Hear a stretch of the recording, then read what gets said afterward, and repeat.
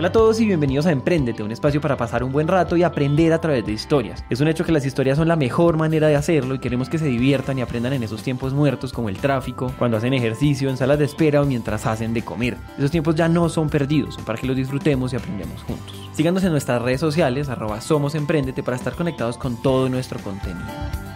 Hola a todos, mi nombre es Juan Pablo de Emprendete y en el episodio de hoy vamos a contarles la historia de una emprendedora que admiramos mucho. Y antes de empezar, quisiéramos contarles por qué la admiramos. Si han tenido la oportunidad de escuchar nuestra historia que está en episodios anteriores, sabrán que alguna vez, ya hace años, quisimos ser una empresa de educación. Y en ese camino, que les adelanto, fue un fracaso, uno tiene referentes, uno evalúa quiénes son los posibles competidores y ve qué están haciendo. Debo confesar que desde eso teníamos en el mapa la empresa de Marta, nuestra invitada de hoy. Es curioso porque la primera vez que la admiramos fue con un poquito de celos, pero bueno, eso ya pasó y hoy simplemente la admiramos porque ella y su empresa están sacando la cara en toda la región. Es importante también contarles que la entrevista fue hecha hace casi un año, pero que sus aprendizajes no pierden vigencia. Esta historia se las cuenta nuestro productor Julián Cortés. Esta que escuchan es Marta. Casi todos nosotros arrancamos vendiendo algo, hablando, eh, haciendo. Es el de la universidad que habla con todos, que tiene el mejor networking, que hace, que pone, que sube y el más inquieto de todos. Entonces así arrancó, digamos que mi vida desde muy pequeña. Marta era una de esas personas entradoras, inquietas, buenas vendedoras, esas características que uno podría atribuir a un emprendedor en potencia. Sin embargo, su vida profesional no comenzó por ahí. Marta estudió diseño industrial y desde muy temprano trabajó. Empecé a trabajar como desde séptimo semestre. Sí, fui empleada bastante tiempo creo yo. Eh, me sirvió muchísimo. Yo estoy hablando desde mi perspectiva. ¿Para qué? Saber cómo se maneja una compañía, entender cuáles son las áreas de una compañía y trabajé, eh, estuve trabajando en mercadeo un buen tiempo y en publicidad. Cuando es el momento donde decido empezar a emprender y es trabajando en Red Bull, estaba trabajando en mercadeo y digamos que la experiencia fue súper chévere. A o sea, no es tan fácil ser empleado, eso sí no es algo que uno diga, ay, me sueño todos los días en llegar a las 8 eh, y tener un jefe y esto. Hay trabajos que sí son muy chéveres y uno lo que aprende de todo lo que pasó es cómo ser una buena jefe, cómo ser una mala jefe, eh, que no quiero que pase acá en la empresa. Y un día, hablando con mi papá, que fue de, verdad el, que me ayudó a tomar la decisión de renunciar, y él me dice, Marta, eh, tú eres mujer, suena un poco machista, pues la verdad. En algún momento vas a tener una familia y vas a ser como la base de esa familia y eh, ahorita estás ganando bien. Yo me ganaba 4 millones y medio a mis 23 años, es un salario brutal.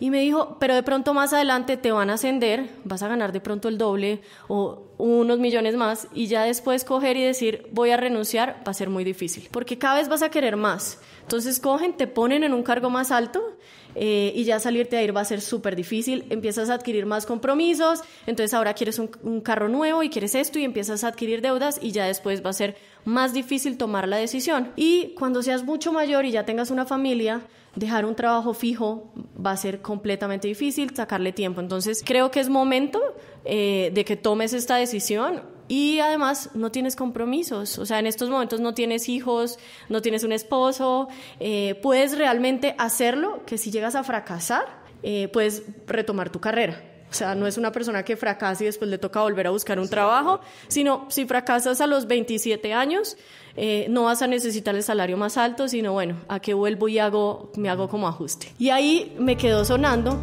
y al otro día renuncio. Tomar estas decisiones es muy interesante porque hay que pensarlas muy bien, analizar lo que sí, lo que no, entender la situación, el riesgo y cuando uno se decide hay que tomar acción inmediata, sea renunciar ahí mismo o poner en acción el plan para hacerlo. La cosa es de sí o no, nada de grises. Como un tip, acá les dejo uno de los principios de Rey Dalio. Las mejores opciones son aquellas que tienen más ventajas que desventajas, no aquellas que no tienen ninguna desventaja. Entonces, ahora Marta estaba en el agua y buscando ese rumbo siempre me ha gustado mucho el tema de educación, es muy cierto. En, parte de Red Bull era educación al consumidor, porque eran todas las niñas de los Mini Coopers y yo ahí manejaba, digamos, ese equipo. Y antes de eso yo entrenaba gente en Juan Valdez, en Alpina, en Cotton USA, en, Unilever con todas las, digamos, tropas de activación de puntos de venta y todo. Finalmente, como que eh, hablando decíamos, bueno, ¿qué voy a hacer? Y en una de esas, digamos que empezamos a charlar y contactamos a una persona en México que era el director de una universidad. Y yo le dije, yo quiero traer esa universidad a Colombia. Pero me voy para México con el sueño de traerme esa universidad para acá, para Colombia, una universidad online que lleva muchos años allá, se llama Universidad CLEA. Y empezamos a trabajar juntos en todos esos sueños que teníamos. Eh, yo me voy para allá a negociar, incluso eh, él llegó a hablar con mi papá, decirle como, usted me mandó un león a negociar, porque, sí, sí, eh, tú a los 25 años no tienes topes, y no, ¿qué te importa si el tipo te dice que el 60, que el 40, que qué porcentaje, que qué? Yo sentía que era la empresaria más grande del mundo en ese momento y que cualquier tope no lo iba a tener. Entré a negociar con él en México y me traje la universidad a Colombia. Entonces acá llego y llego a hacer trámites en el Ministerio de Educación, llego a hacer trámites con abogados, ojo, sin un peso en el bolsillo. Entonces, cuando hice las cuentas de absolutamente todo, así como hacía un presupuesto en Red Bull, me di cuenta que necesitaba entre 2 y 3 millones de dólares. Entonces ahí empiezo, claro, para montar una universidad. Yo pensé que para mí era facilísimo y lo seguía viendo súper fácil. Esto no es que yo seguía viéndolo como un tope, eh, yo me fui al ministerio, entonces lo que me dicen es, bueno, Marta, tienes que montar la universidad, tienes que tener un terreno que tenga permisos de universidad. Eh, luego, nosotros más o menos nos estamos demorando seis meses dando la aprobación, pero mientras tanto tienes que tener el plantel puesto y el personal. Y yo les decía, pero es una universidad online, no, pero igual tienes que tener toda la parte administrativa, recursos humanos, eh, todo el tema de, de, educación continua, todo, todo, ta, ta, ta. Es claro, haciendo cuentas era una barbaridad de plata. Y me puse a buscar al BID, no sé por qué. Yo dije, la forma de levantar plata y de buscar es el Banco Interamericano de Desarrollo, ellos de pronto me prestan la plata, eh, me fui para allá, toqué puertas, esto fue durante dos años de mi vida. La historia de Marta empieza con una mezcla casi que infalible de ganas y de ambición. Y ojo, esas ganas y esa ambición serían claves, pero no esta vez. Pues realmente no pude montar la universidad fue bastante difícil, pero lo bueno es que, y fue un aprendizaje muy grande que me dio el rector de esta universidad cuando me dice, usted cuando monte una empresa, lo más importante es aprenda a hacer las cosas usted, porque el día que le digan lo que no se puede hacer y que no se puede hacer, usted les va a decir cómo. Como hice todo eso, yo monté las plataformas de la universidad acá en Colombia y empecé a aprender un montón cómo funcionaban los temas de educación. Y eso es como, como el antes de UBITS. O sea, emprender eh, trabajar duro y soñar un montón. Eso sí, soñadora impresionante. Por ahí dicen que las grandes metas crean grandes capacidades, y esta parte de la historia es un ejemplo de eso. Marta tenía vivo su amor por la educación y una maleta llena de conocimientos, herramientas y todos los aprendizajes que salieron de dos años de trabajo. Y claro, como uno siempre se está moviendo y buscando oportunidades, las fichas del rompecabezas ya estaban cayendo en su lugar. Y lo más chistoso de la vida es el chance que tienes de tener un buen socio. Y el lanzar los dados y que justo te aparezca un buen socio. Eh, y es cuando conozco a Julián. Es una historia cuando la contaron en Revista Dinero y yo vi la historia, para mí fue fatal porque parece como si fuéramos dos personas enamoradas que nos conocemos y no tenemos nada que ver ninguno de los dos, somos amigos y socios. Pero entonces yo le decía, Julián, ¿quién contó esta historia? Esto tiene como sonido de telenovela al fondo. sí, sí. Eh, y fue cuando, o sea, el día, el día más chévere fue, yo estaba buscando libros para meterle algunos diplomados de la universidad, temas de creatividad e innovación, y me fui a la Lerner la Lerner, la librería, en esos momentos eh, sí tenía libros en inglés. Ustedes saben que conseguir libros en inglés acá en Colombia es jodísimo. Y hay libros que los necesitas en inglés. O sea, eh, yo hoy en día estoy leyendo Titanes de Tim Ferriss y tú ves la versión en inglés y en español y es súper diferente y las traducciones son horribles. Eso es lo mismo pasa con muchos libros y me fui a buscar un libro en inglés y en esa librería conozco a Julián. O sea, la probabilidad de uno conocer a alguien en sitios así, y me ha pasado que las mejores personas las conozco muchas veces y no tengo un solo amigo en común en cafés, en temas así, o sea, y creas conexiones. Y esto me pasó acá eh, y empezamos a hablar, y empezamos a conversar. No, no, no, estábamos en la misma librería, estábamos en la misma sección, yo saco el libro y Julián me dice como, ese libro puede llegar a ser bueno, ¿eh? yo también lo estaba buscando y empezamos a revisar el libro. Eh, obviamente él, es, él me estaba tratando de echar los perros, ¿no? No es que tampoco haya sido, oh, qué interesante ver el libro con ella. Y hoy en día nos reímos un montón de la historia, pero, pero ¿qué? Pero seguimos ahí hablando con Julián. Eh, y él era profesor de innovación de los Andes y de unas materias de introducción. Entonces, cuando empezamos a hablar, me dice, oye, no, pues yo sé estos temas de innovación, me habló de los seis sombreros para pensar, de esto, de lo otro, y es súper deslumbrador, ¿no? Entonces, yo como, oh, por Dios, esto existe, debería tenerlo en un diplomado, lo otro.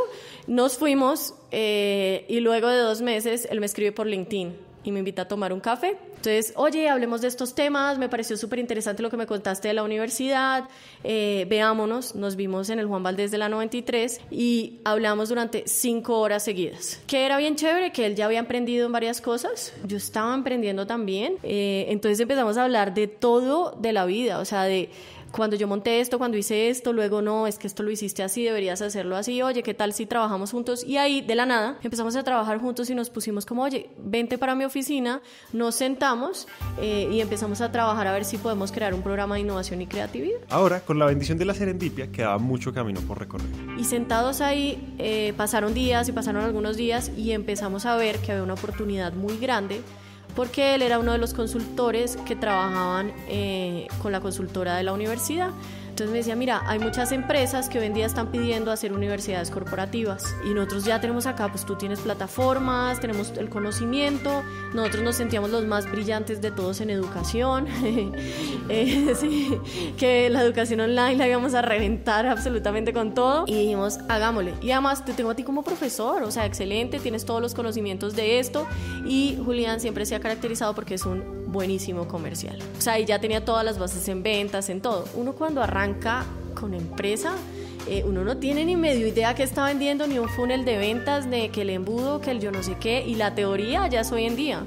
Pero antes nosotros, ¿cuál teoría? Pues nos organizábamos, pero pues se vendía como pudiéramos. Entonces lo que dijimos es, primero, ¿qué queremos y qué quieren las empresas dentro de las compañías? Obvio, esto fue evolucionando. O sea, porque ¿qué pasa? Todos estos insights son a hoy, pero eso lo aprendimos eh, devorándonos los estudiantes de todas las empresas, viendo qué era lo que querían, cómo querían estudiar, qué tenían, pero fue muy chévere porque desde el día uno de UBITS dijimos la educación debería ser a partir de bits de conocimiento. Por eso nos llamamos UBITS, porque somos la universidad de los bits. Y un bit es un contenido corto online. Esa idea central de UBITS viene de escuchar muy bien al mercado. Primero viendo la oportunidad, el qué de la empresa, y después hablando con la gente para entender el cómo. El qué es la educación para empresas y el cómo es el formato de contenidos cortos. Y así como nos dice Marta, todo eso lo sabemos hoy, con nuestro maravilloso sesgo de retrospectiva. Pero antes tocaba salir a la calle y encontrar clientes, vender y echar el cuento muchísimas veces. Entonces sí que pensábamos que estudiar durante cuatro meses un tema era lo más tedioso que había. Segundo, que la gente sí o sí tenía que hacer los temas online, porque muchas veces cuando estás y tienes una compañía que tiene 13 mil personas, de pronto cuando tienes 10 lo puedes hacer, pero con 13 mil personas, ¿cómo entrenas a toda una compañía? Es súper difícil. Ahora, mientras estás trabajando, sales a las 7 de la noche y te dicen, oiga, es que usted tiene que aprender de marketing digital sí o sí ¿Cómo vas a pretender hacer un programa de dos semanas, cuatro meses? Es muy difícil y era como, lógico, ¿tú qué quieres hacer? ¿Cómo te quieres entrenar? Ahora, no estamos reemplazando las universidades. Lo que estamos haciendo acá es complementando el conocimiento que nos hizo falta en la universidad o pues que no estudiamos. Entonces, si yo soy una persona que estudia administración de empresas, entro a un área de mercadeo, ¿qué voy a saber qué es design thinking? No tengo ni idea qué es design thinking. Entonces entro al buscador de Ubits, pongo Design Thinking y te aparece un paquete de contenido de Design Thinking que puedes ir viendo por pequeñas unidades de 15 minutos. Y vas adquiriendo conocimientos de a pocos es súper chévere porque hay gente que nos dice, hoy es la primera vez que acabo un curso de, de, online. Entonces nosotros, ah, qué bien, qué bien. Y así es como empieza Ubits. Eh, el logo lo creamos en 10 minutos, el nombre lo pusimos en otros 10. Esto es lo más chistoso de todo, cuando, cuando nos decían en Silicon Valley como, ah, nos encanta ese logo, refleja un montón, ¿quién se los diseñó? ¿Qué agencia? No, fue en un tablero de marcador con Julián eh, haciendo la U. Ah, pero ¿qué representa online? No, pues pongámosle las, las rayitas del Wi-Fi. Ah, bueno, listo, sí. Hubo un momento donde nos quisieron destruir el logo hace como tres años un asesor y nos dijo, ese logo debe cambiar porque el día que se acabe el Wi-Fi y yo le dije, en estos momentos de mi vida no tengo tiempo para cambiar un logo, el logo está funcionando, continuaremos así y más bien el foco son ventas, no es cambiar el logo y seguimos, pero esas son cosas que pasan. El nombre y el logo. Esas cosas que a veces no parecen tan importantes, pero que sí lo son, a veces y a veces no. El punto es que no se convierta en un obstáculo para empezar. Pero bueno, lo que Marta y Julián aprenden para establecer su formato tiene toda la lógica, especialmente porque ahora hay demanda de habilidades específicas que se pueden aprender sin necesidad de hacer todo el boroló de volver a la universidad. Además, los puestos de trabajo están evolucionando todo el tiempo y puede que un día necesite esa manera conveniente de ponerlo en mi agenda. En medio de todo esto nace Ubits. Nosotros arrancamos muy chistoso porque arrancamos en un computador como de, no sé si existen hoy en día, pero esos eran, esos Hewlett Packard como que cabían en la mano.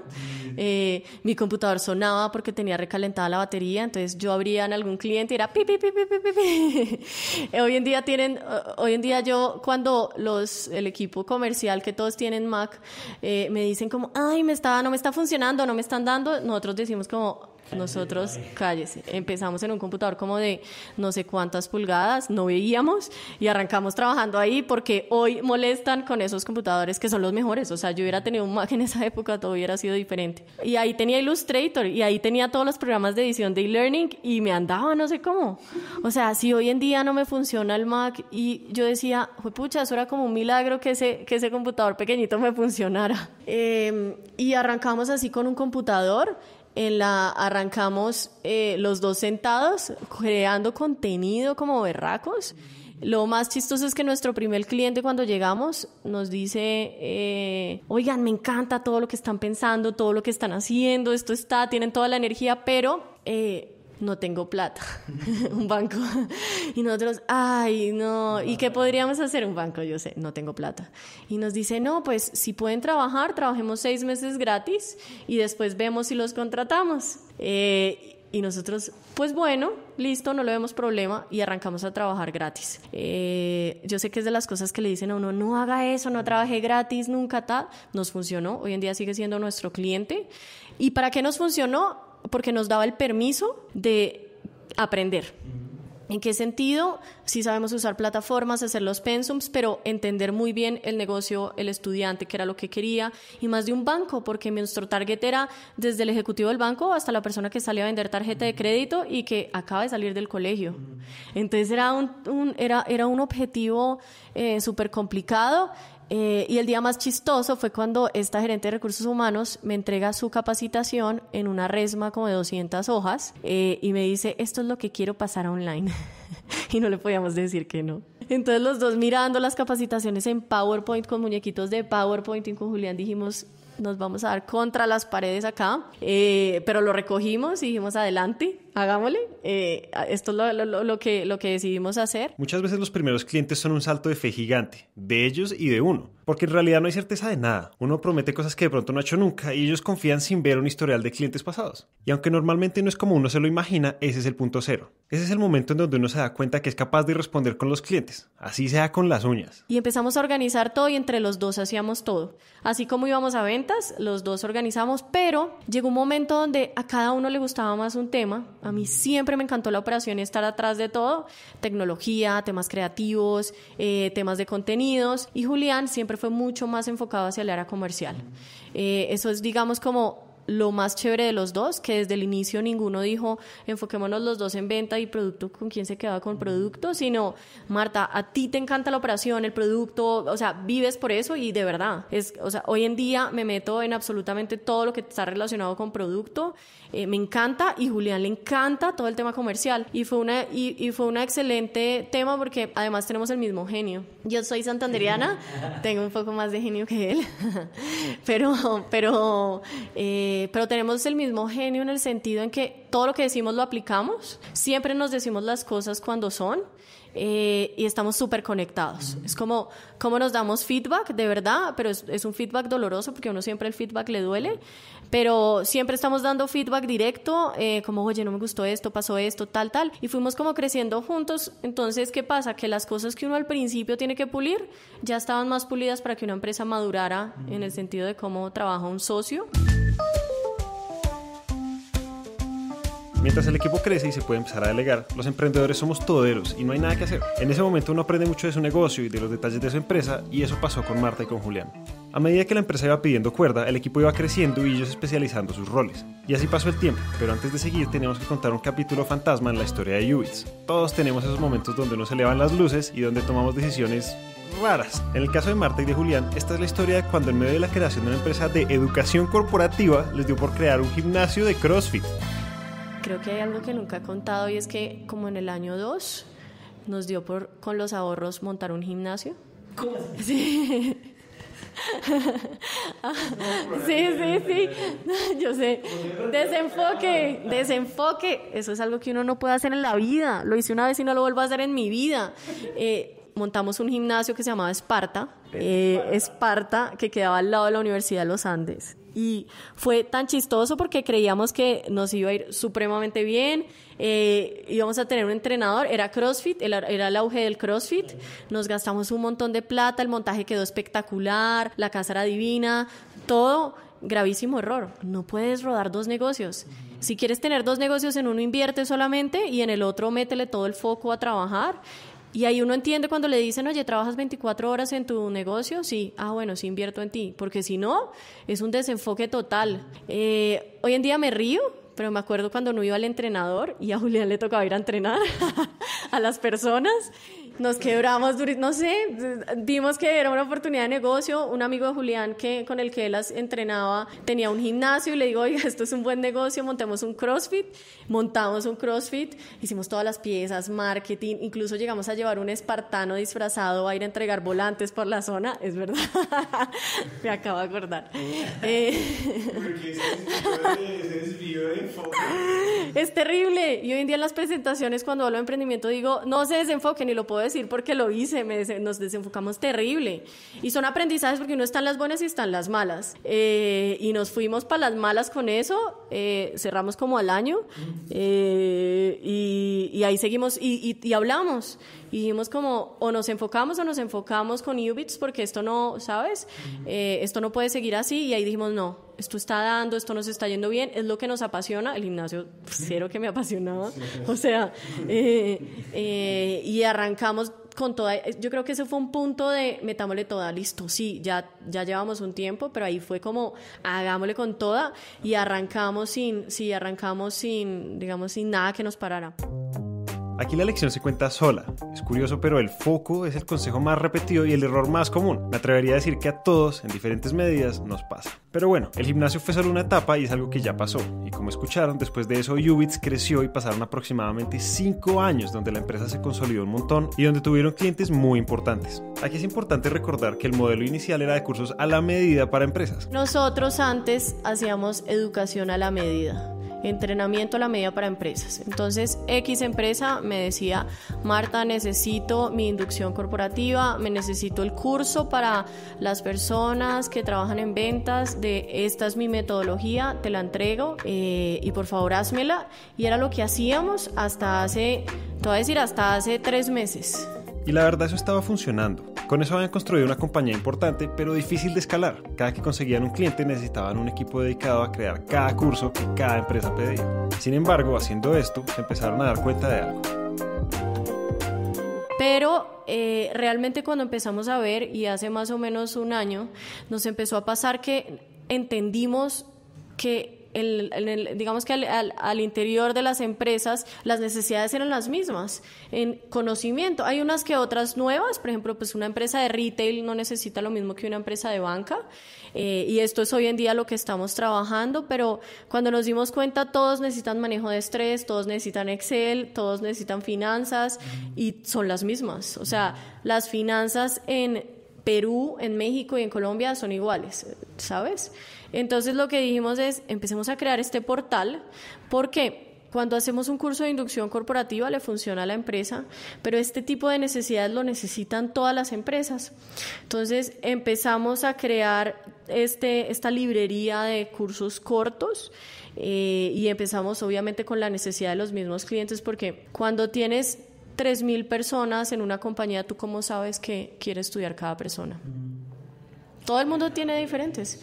No, y todo el mundo tiene diferentes gustos. Entonces, el área de ventas quiere aprender de ventas, mercadeo quiere aprender de mercadeo, contabilidad tendrá otras necesidades. Ahora, con un curso de inducción, ¿cómo vas a suplir esas necesidades de conocimiento? es muy difícil.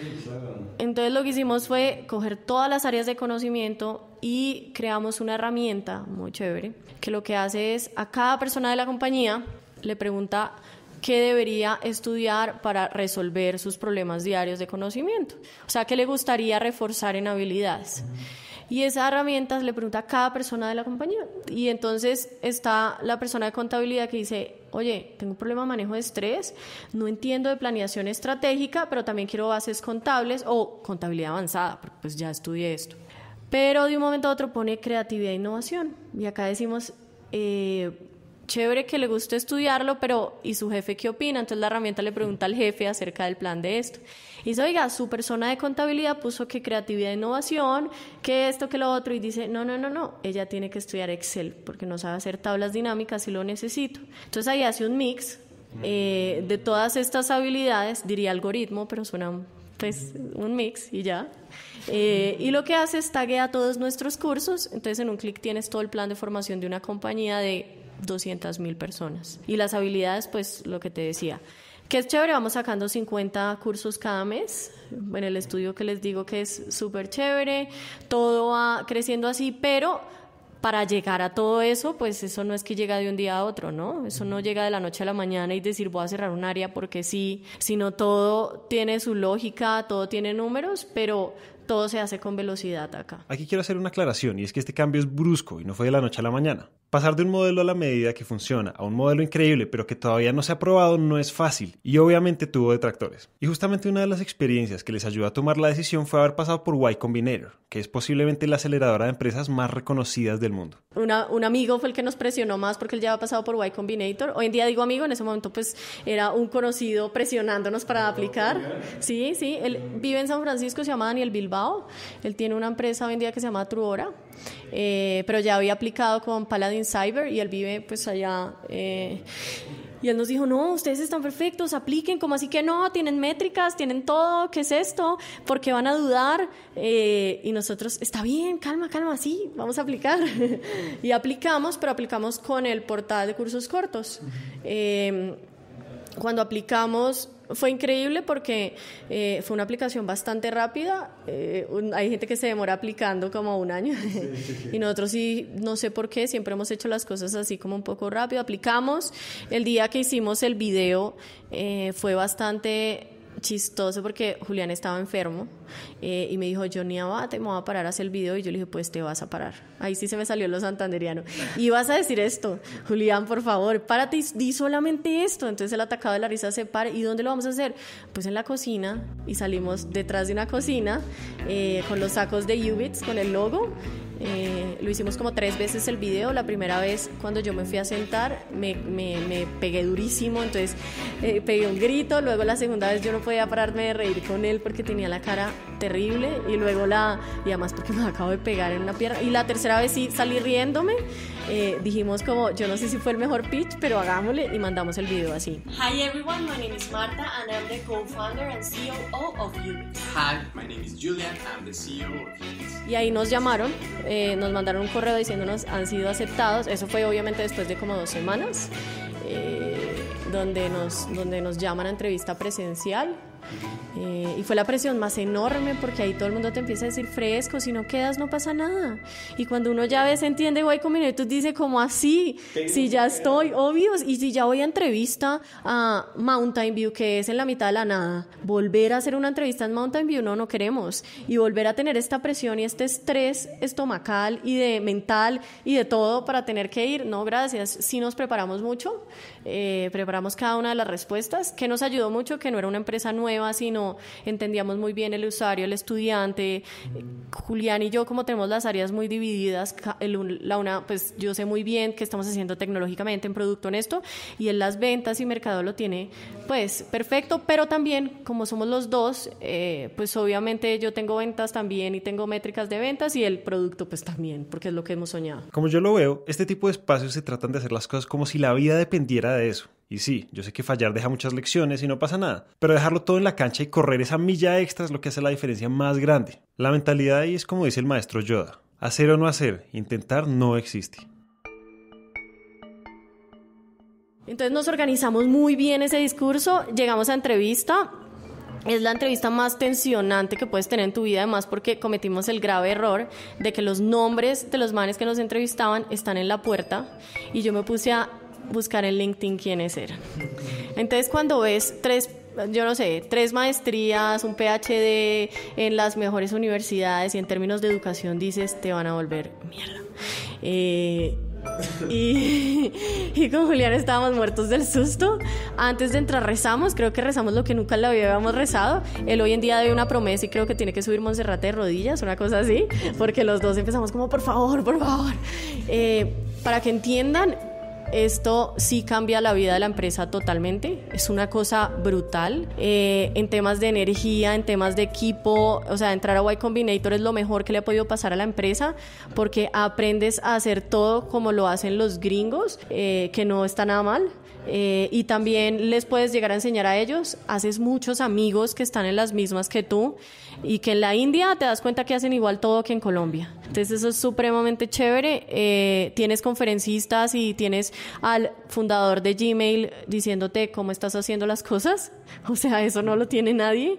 Eh, y asesores que han pasado por todo esto. Ni, ni siquiera te tienes que quebrar para poder dar una buena asesoría. Gente que hoy en día tiene empresas enormes y, y, y fueron muchos insights y muchas cosas increíbles que nos dijeron que nos cambiaron el rumbo de la empresa y más que todo lo que nos hicieron es como think fast, o sea, piensen muy rápido, resuelvan las cosas rápido, hagan esto así, pero ordenadamente. Claramente no es cojan y lleguen a contratar 200 personas a lo que sea, ¿no?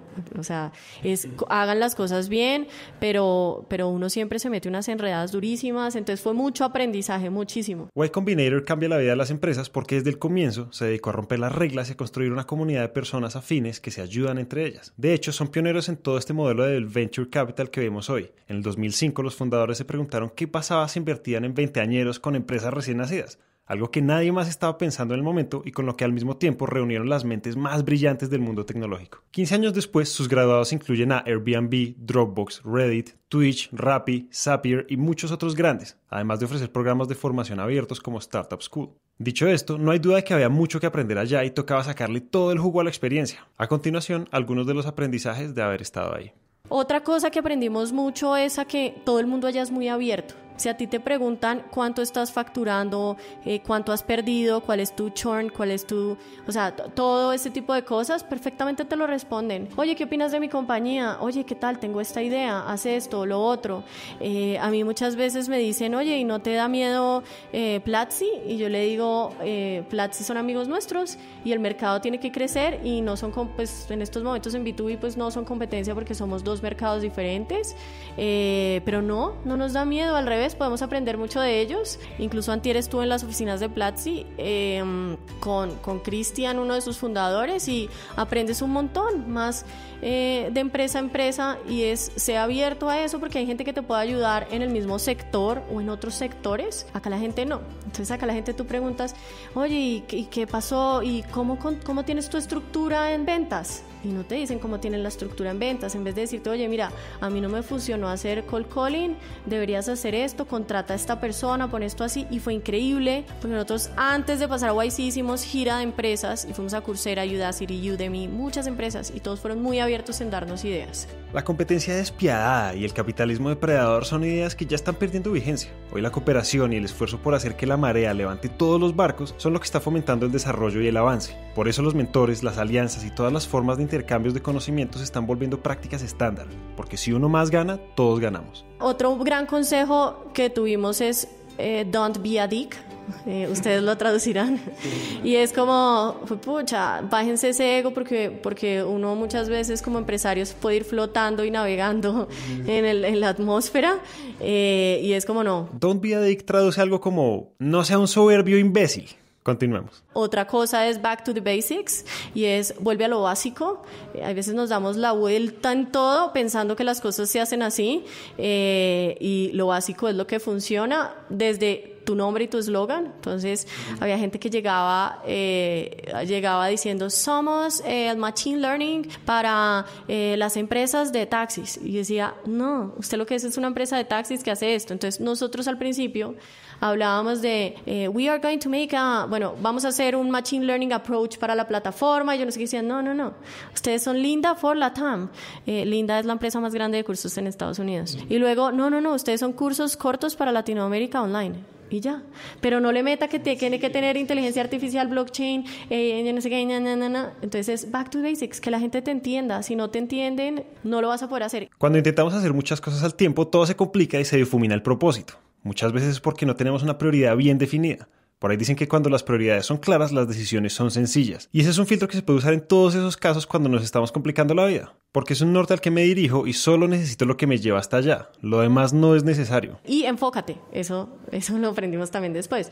Y vamos a lanzar un nuevo producto con Ubits y nos sentamos un día con unos, nuestros asesores y nos dicen como, a ver, ¿Cuánto tienes en el portal de cursos? ¿Cuánto quieres desarrollar? 500. Bueno, cuando termines tus 500 y termines de desarrollar tu producto, hablamos si quieres sacar otro producto. Por ahora enfócate. Deja, o sea, el señor bravísimo, bravísimo. Este señor es uno de los capos allá. Y nosotros por dentro salimos súper regañados, pero dijimos, ah, tiene toda la razón. Tiene toda la razón. Eh, entonces hay unas cosas que te dicen que tienen todo el sentido y que no las has aplicado. Otra persona nos dice en el tema de valores como, ¿por qué tienes honestidad en tus valores de la empresa? Yo no, porque la idea es que todos seamos honestos y abiertos. Y dice, ¿cómo si ahorita no lo son? ¿No son honestos? Cuando tú asumes que una persona tiene que ser honesta es porque no está siendo honesta. Y nosotros como, oh my God, tiene toda la razón, pero son bobadas, ¿sabes?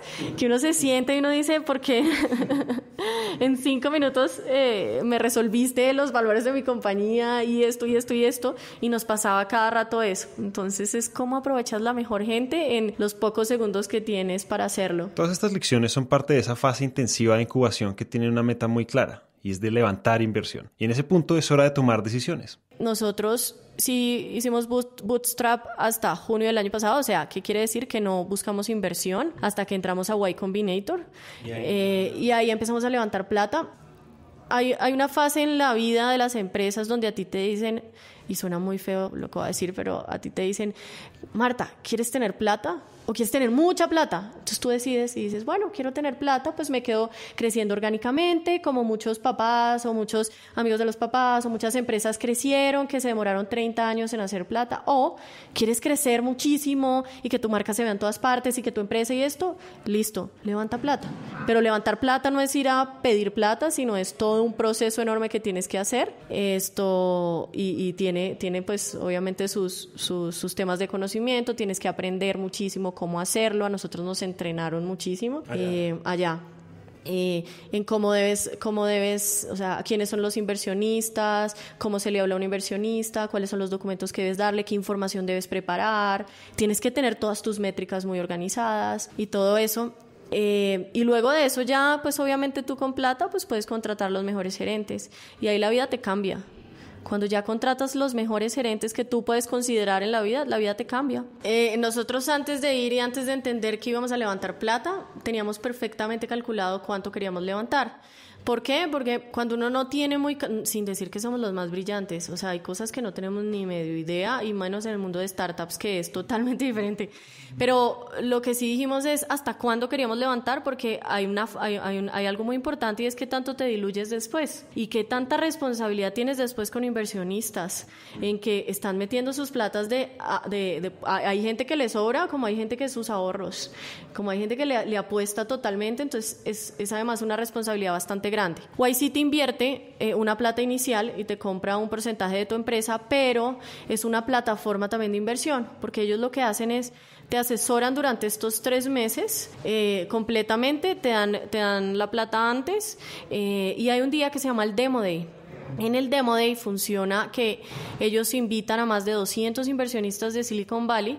Ahí es cuando oyen a Aston Kutcher, bueno, y entre todas estas farándulas que esta farándula que también va. Eh, y las personas que están ahí tienen, hagan de cuenta como una aplicación como Tinder, donde te dan like o no te dan like.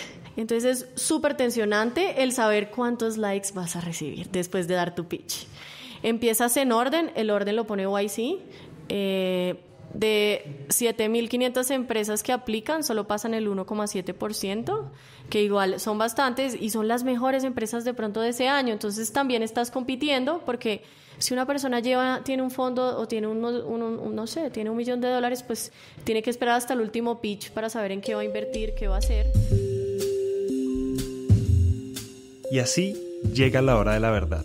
Después de aprender, iterar, simplificar y pasar todo ese tiempo en Y Combinator, Julián, Marta y Ubits ya no eran los mismos. Un mundo entero se había abierto con todo lo que había pasado. Y era el momento de ver si alguien se iba a sumar al equipo para lanzar ese cohete a la luna.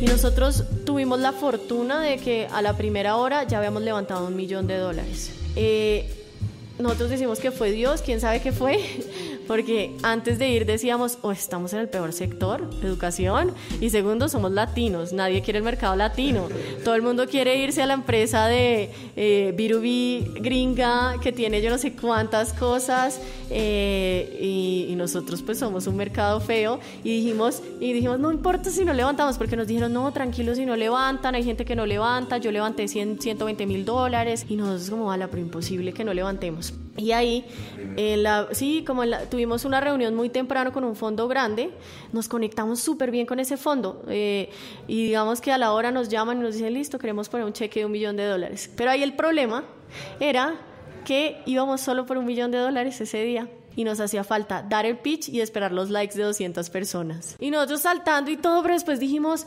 pucha, cuando volvemos a Silicon Valley a tener todos estos inversionistas al frente, evaluemos en qué queremos plata de más, veamos rapidísimo, obviamente no era ya, sino veamos rápido y veamos qué ofertas también hay, porque así como podíamos levantar más, podía que nadie, nadie pudiera pedir una cita. Entonces acá en el Demo Day te dan likes y al otro día está algo que se llama el Investors Day.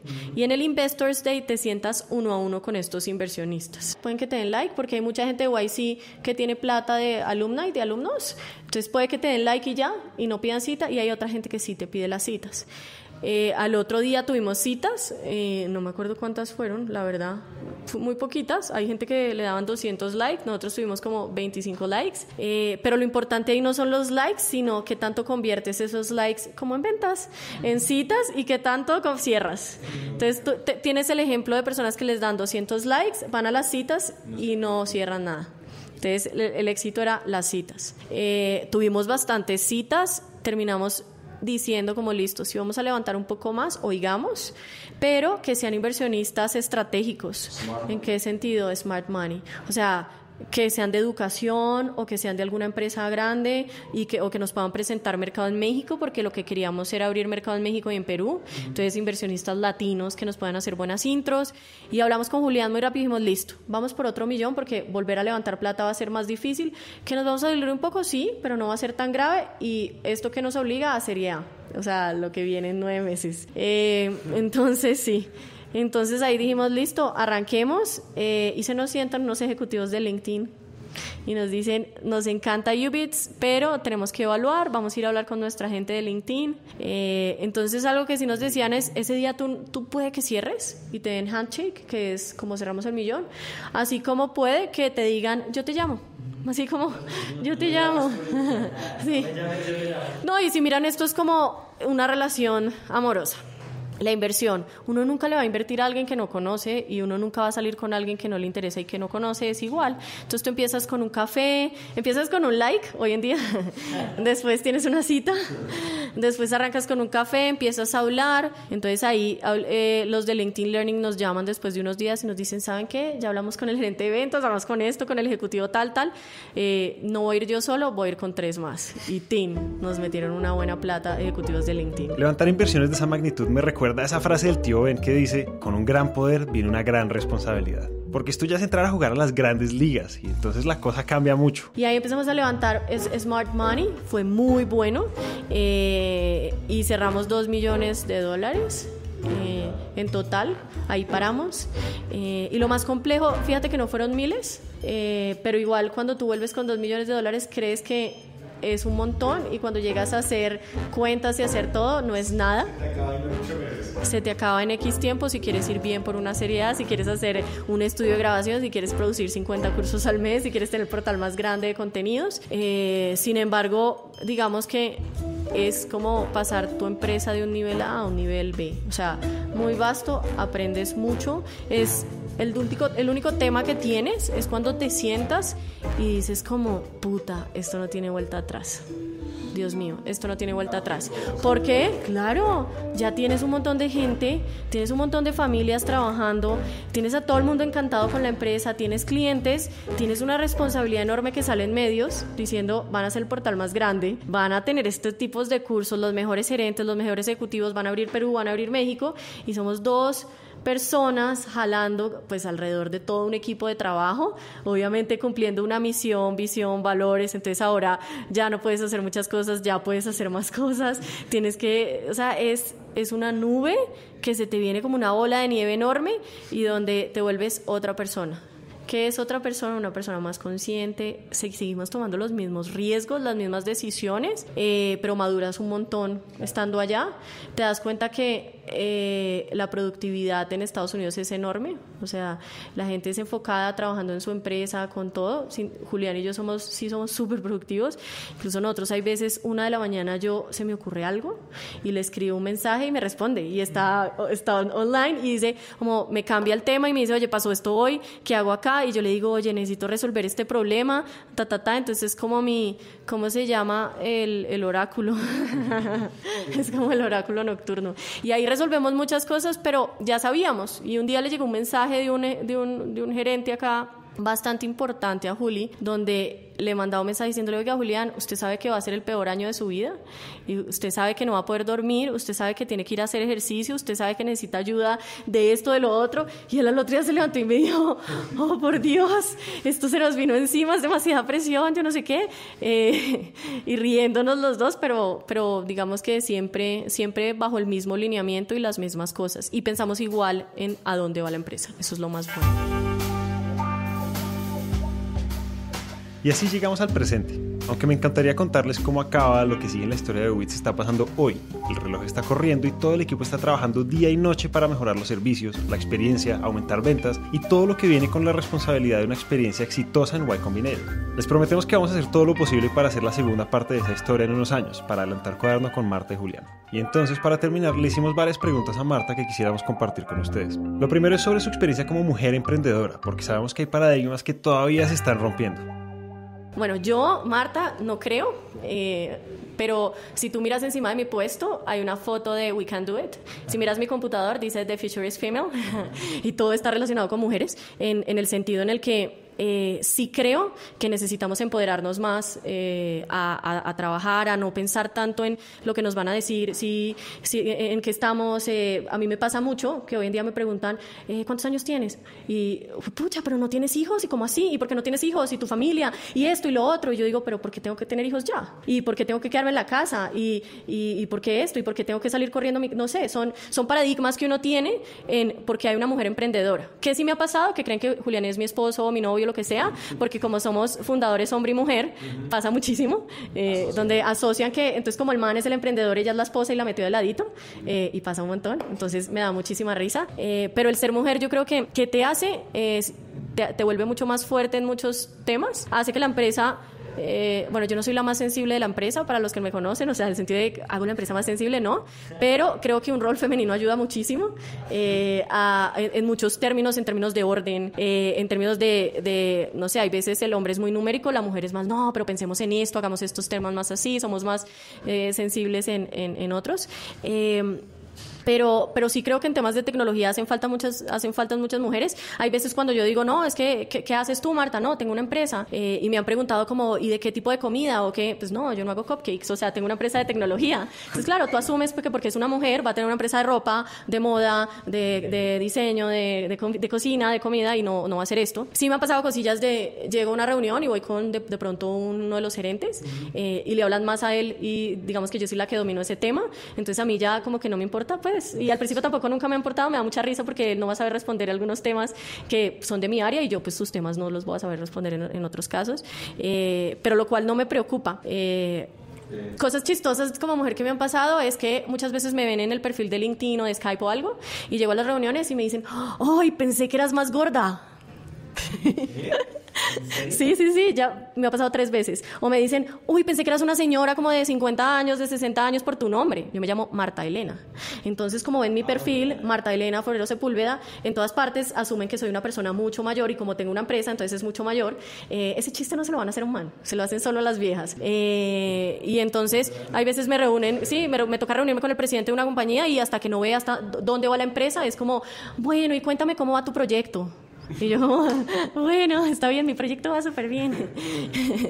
Em, pero, pero sí son cosillas de, de que a veces no, no, lo creen, porque no sé si es que no tienen eh, el tema, pero cada vez, cada vez está mejor. Y yo creo que el, el rol de la mujer cada vez está más fuerte.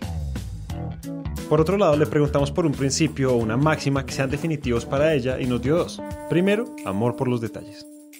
Eh, una frase que me encanta y está dentro de mis valores como Ubits y es love for details. Y se los dije, amor por los detalles. Y amor por los detalles es en todo lo que haces. Suena súper cliché, pero cuando una persona desde que hace un banner, desde que arranca sus ventas, desde que empieza a hacer un producto, desde que piensa en el color de la casa y la pintura de la casa que está haciendo, hasta absolutamente todo, tiene que pensar en sus detalles. Entonces algo que sí les diría es en todo lo que emprendan, en todo lo que hagan y todo lo que produzcan, tengan amor por los detalles. Eso para mí es claro y eso cambia la relación entre eh, cuando cuando uno hace algo y cuando uno creativamente ya arranca y, y, lo produce. El segundo tiene que ver con el equipo, pero sobre todo con la cultura y lo que deberíamos tener en cuenta a la hora de contratar. Lo más importante para un emprendedor es el equipo, de verdad. O sea, hasta que uno no está emprendiendo no lo entiende. Hoy en día nosotros somos 80 personas dentro de Ubits y tenemos tres equipos en Bogotá, pues en, en Colombia, en, estamos en Bogotá y en Medellín, estamos en Perú y en México. Y llevar toda esa cultura es supremamente difícil a cada uno de los países. Eh, acá en Bogotá al inicio tuvimos muchos retos porque era entender qué era, qué era lo que queríamos contratar. Adicional, tú cuando arrancas pues no tienes los salarios más altos, entonces es lo que hoy llaman salario emocional que tienes que tener. Entonces como das pizza, eh, tratas de salir, hacer tal, pero sin embargo, así hagas todo eso, hay personas que no hacen fit con la empresa y tienes que aprender a tener ojo para eso, ojo, ojo, ojo, y solo lo sabes tú. Sí, entonces yo algo que curo mucho y yo trato de entrevistar a todas las personas del equipo lo que más puedo, o por lo menos que los gerentes hoy en día lo entiendan. Y hoy en día me dicen muchos que incluso todos nuestros gerentes son mayores que nosotros dos eh, y por bastantes años. Eh, y algo que dicen es, no entendíamos por qué hablaban tanto de hacer preguntas personales o de hacer preguntas más cercanas. Y claro, era por eso. Una sola persona te puede contaminar toda un área. ¿En qué sentido? Qué pereza, qué aburrimiento el sol, está haciendo mucho sol, qué aburrimiento si llueve, qué aburrimiento si traen ponqué, si no traen una torta, si yo no sé qué, si todo. Y nos cuidamos mucho de eso porque ya lo aprendimos. Ya tuvimos una época hace como cuatro años donde nos tocó retirar a toda la gente de la compañía porque no iba con nuestra cultura, no iba con nuestro corazón. Eso fue un momento súper duro, pero también les hicimos entender que de pronto lo que ellos querían era más estar en una multinacional y como startup no les iba a funcionar trabajar. Entonces es algo que preguntamos mucho, como estás, o sea, ¿te interesan los horarios? Cuál es tu fin, ¿Qué, es lo que quieres dentro de la compañía, si quieres estar a largo plazo, porque acá no nos sirve gente que quiera venir por tres, seis meses. Eh, y la rotación acá es muy bajita, muy bajita, porque de verdad trabajamos mucho en equipos. Eh, las cabezas que tenemos y los líderes que tenemos son gente increíble. No llegaron hace dos años, llegaron en agosto del año pasado. Antes casi manejábamos todos nosotros directamente eh, y cuando uno maneja más de 20 personas directamente es súper complicado, pero lo más chévere es que eh, tú ves tú, tú, vas viendo cómo la gente va creciendo y cómo se va pegando más a eh, todo lo que son los valores y lo que quieres inculcar. Entonces es eh, amor por los detalles, es un tema de mucho de trabajo en equipo, de también la urgencia, sentido de urgencia. Cuando estás en una startup tienes que tener un sentido de urgencia de, oye, salió una pieza así, se cayó esto, pasó esto, pues corre a redactarlo. O sea, no es una multinacional que te puedes dar el lujo de esperar dos días a que el proveedor te conteste, no, hazlo tú y resuélvelo tú y hazlo y, y, y eso ha funcionado muy bien. Finalmente, conversamos con Marta sobre las tensiones personales y emocionales que implican emprender y por hábitos que le han ayudado a hacerlo mejor. Cuando arrancas, y más arrancas a esa edad, es una edad súper dura porque tú a los 25, 26 años, eh, todos tus amigos van creciendo y sus carreras van creciendo. Entonces está el amigo que le va súper bien, que está de gerente de marca de algo y se está ganando un montón de plata y anda en un carrazo y uno dice como, ay, pucha, yo andando acá a pie y todavía y tengo deudas y sigo pasando la tarjeta y en cuanto va creciendo y ves que de pronto el otro dos años después se compra el apartamento y tu amiga está triunfando y saliendo en los medios como la mejor gerente de Coca-Cola o de algún tema así, y tú dices, yo hubiera podido estar así seguramente eh, y sigues en tu, como en tu mismo tema y es, no te desenfoques, tranquilo, todo va a pasar. Más adelante todo eso va a pasar. ¿Por qué? Porque vivimos en un país así y en un mundo así, donde tú lo que, tú lo que ves como éxito es el resultado de lo que tienes Hoy en día que me da risa que así tengas o no tengas, no te importa cinco comprarte un carro o un apartamento, es lo que menos te importa, sino cómo abres una oficina en México, cómo entonces ahorras para Perú, para esto, para tener un mejor equipo, para comprarte mejor un video beam, para tener unos mejores estudios de grabación y andas a pie como todos tus otros amigos con empresa eh, y ya esas cosas pasan a segunda fase. Pero en ese momento es cuando uno dice, y es súper difícil y tienes que saber manejar la mente porque algo que le digo a mis amigos que empiezan a aprender es no dejen que la mente los controle en ese sentido. Y algo que nos decían en Y Combinator es un emprendedor de cualquier tipo siempre debería tener un psicólogo, siempre debería estar haciendo deporte eh, y siempre debería estar rodeado pues de, gente que esté en las mismas. ¿Por qué? Porque uno a veces se siente súper solo y dice, pucha, ¿será que estoy tomando la decisión que es? Tengo que sacar una persona de la compañía, es mi amigo, ¿cómo le voy a decir? O, ya se acercó mucho y, cómo tú alejas a esta persona que ya no te funciona y son temas de depresión bastante altos, eh, dejas de cuidarte mucho entonces ya no tienes tiempo para trotar porque dices, bueno, en esas dos horas que sales a hacer ejercicio puedes estar eh, revisando qué más hacer en mercadeo, qué más hacer en educación, en esto, en lo otro. Hacer ejercicio de verdad así sea las malas. Yo, a mí me tocó entrenador porque yo a las buenas no lo iba a hacer. He cambiado de deporte como cada año, entonces empecé, empecé con uno por uno, pero es buscarse un buen compañero de ejercicio o eh, de verdad hacerlo. ¿Por qué? Porque eso te libera mucho estrés. Eh, segundo, en temas de hábitos, eh, me encanta, o sea, me encanta de vez en cuando ir a trabajar fuera de la oficina. Entonces hay días donde sí me encanta sentarme y tomarme un café. Otro hábito que hago un montón eh, y es también una recomendación que les digo a todos es no le tengan pena a llamar a grandes gerentes y pedir recomendaciones. Yo tuve la felicidad de que uno de mis cargos es conseguir profesores para UBITS, entonces siempre estoy rodeada de gerentes que saben mucho. Entonces siempre tengo en mi computadora un post-it que dice tareas que me ponen gerentes, a leer libros, a oír este podcast, a hacer esto, a, oye, incluso a mí me encanta montar bicicleta así, ¿has montado o no? Oye, llámate a tal, haz esto. Y son cosas que te, te cambian un montón la forma de ser, pero como hábito debería ser así sea, una vez cada 15 días tomarte un café con alguien que sabe más que tú y siempre salir con amigos. Uno deja mucho a los amigos porque está preocupado, no tiene tiempo, esto, lo otro, pero uno sí tiene que darse tiempo para uno y darse tiempo para uno es por lo menos ir con tu mejor amiga, con la persona que más consideras, con otro, lo que les decía, con otro empresario, irse a sentar a llorar, a darse contra la cabeza o a oírlo o que te oiga, eh, porque esas personas son las que te van a ayudar a ti mentalmente a resolver problemas. Este episodio fue producido por Julián Cortés y editado por mí. Julián vive en Bogotá, es un apasionado por la tecnología, los videojuegos y los mercados financieros. Y sí, suena muy parecido a Santiago, adivinen por qué. El diseño de sonido fue realizado por Juan Diego Bernal y el trabajo gráfico fue hecho por Manuel Torres. Esperamos que este episodio les haya servido de algo. Si así fue, compartan nuestro contenido. Al final nuestra misión es que más personas nos escuchen y que sean más personas las que se encuentren con inspiración útil. Recuerden que el canal más directo entre ustedes y nosotros es WhatsApp. Pueden escribirnos y contarnos qué les gusta, qué les gustaría que hiciéramos y qué creen que podríamos hacer mejor. El número es 317-316-9196. Muchísimas gracias a Marta por su disposición, por abrirnos las puertas de Ubits, por ayudarnos a construir esta historia. Mi nombre es Juan Pablo, gracias por escuchar.